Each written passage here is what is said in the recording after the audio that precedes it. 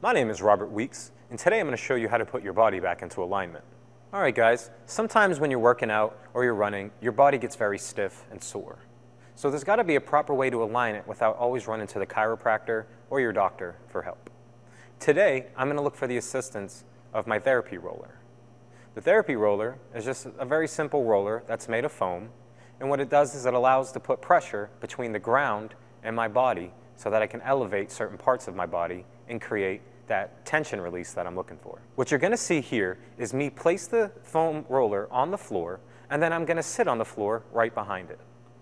I'm then going to lower my back onto the roller, and then I'm going to also make sure that my elbows are dropped to the floor.